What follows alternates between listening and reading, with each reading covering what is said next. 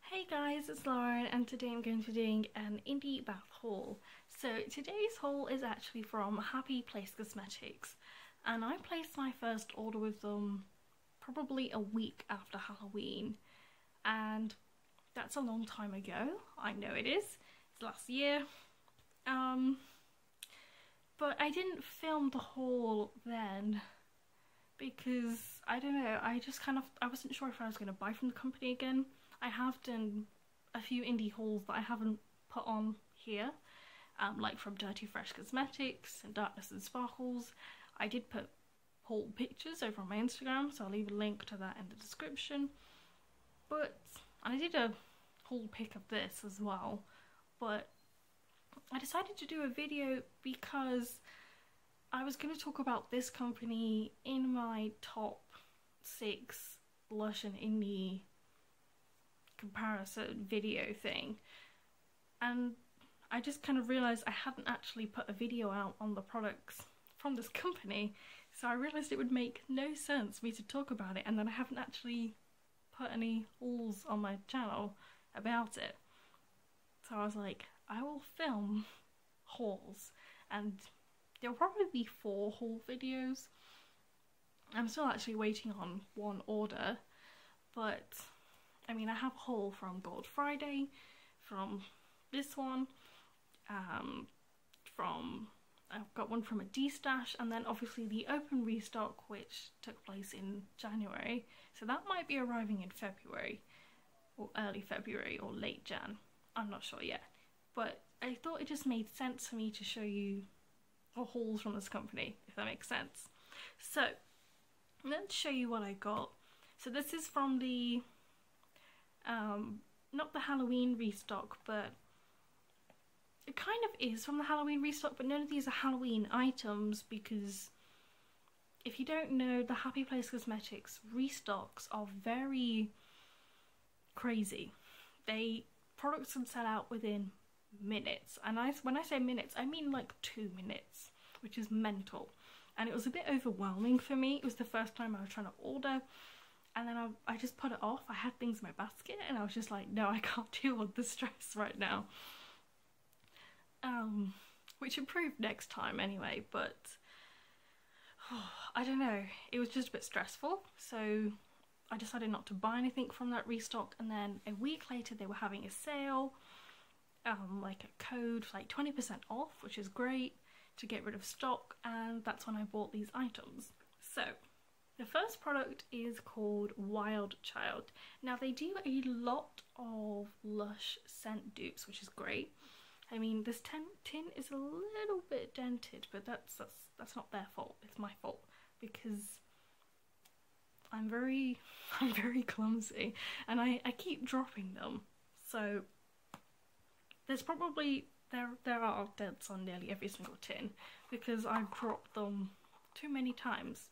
So this one is a scent dupe for 29 High Street and this one, they all have like holographic stickers on them and it smells exactly, I mean exactly like 29 High Street. So this one does have glitter in, but it's not very noticeable. It's like a purple and orange colour. I love the colour scheme and I love the scent. So these are all like shower whips, if that makes sense. The next one is called Duvet Bay and this is what they call a twisted creation and what that means is it's like two scent families in one pot mixed together to make a new one I guess. Um, so the two scent families which are on the actual website in their little fragrance list is Duvet Day and Blueberry Bay. So it's like a mix of blueberry. It's very, very sweet. It's a really pretty colour as well. It's very sweet and it's also got like a scent of hot chocolate and like marshmallows. It smells really really good. So I love the scent. And this one has glitter in as well. It's not very noticeable but there is glitter on the bottom that I can see. So it's a, they're all multicolored actually, but I really love the, the products. And the scents are so nice. So this is the one that I have used partially, which is to be expected because this is before Christmas, you know, and I was just, I was dying to use them, okay, but it helps because you kind of know the texture of the whips because I've used it. So this one is called Are You OK Hun. I actually did a demo of this over on my Instagram um, uh, which is actually in my story highlights underneath HPC, which stands for Happy Place Cosmetics, if you didn't know. And it's also under Shower Whips, because it's a shower whip. And I've used it twice so far, so the scent of this um, it's a little bit soapy, but it also has like a vanilla clean scent and also a little bit of salted caramel bit to it. But this one was actually the prettiest of all of these. It had this beautiful like gold swirl. Maybe I should have used a different one, but it just fitted perfectly with my back cocktail, so I had to use it. But this was the prettiest. Um, it was so pretty. Uh, it's beautiful, beautiful gold shimmer, obviously glitter, and it's a pink and yellow kind of colour. The scent is nice the texture is something else. It's so good. It's very thick. In my demo that I talked about, um, the texture is really, really thick. I used way too much in that, that video. Don't use that much. you literally need like a tiny, a tiny bit. Just start off small. Um, but it's so foamy. It foams up really well. It's really, really good for shaving. I highly recommend it for shaving your legs. Like I, I used to use Lush Fun um, before. Well, I used to use it because it was really good and people recommended it.